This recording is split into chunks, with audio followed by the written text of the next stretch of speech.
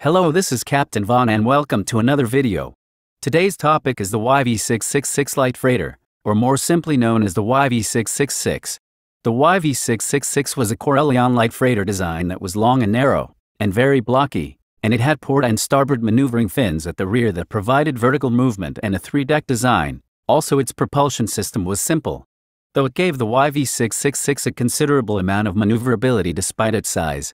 In addition the vessel's bridge deck was at the top of the hull with its bottom deck containing engines, power core, and weapon systems, and its main deck was large enough to be modified to house private quarters, a training chamber, an armory, an advanced medical bay and even a brig if any of those options were desired by the owner of the vessel.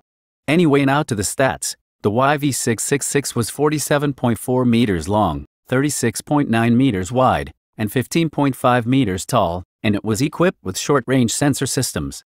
In addition, the vessel could go at speeds of up to 1,190 kilometers per hour, and it was equipped with a Class 3 and a backup Class 14 hyperdrive.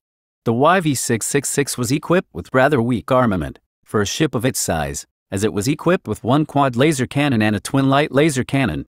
The YV666 could be operated by a minimum crew of one, though it required a crew of two in order to operate effectively. In addition, the vessel could carry six passengers, 55 metric tons of cargo, and three months' worth of consumables. The YV666 was manufactured by Corellian Engineering Corporation, and it would have cost 132,000 credits new. Now to my personal opinion. Overall, I believe that this freighter was rather standard, from almost any point of view, because its armament, hyperdrive rating, and cargo capacity was all relatively standard for a Corellian freighter of its size.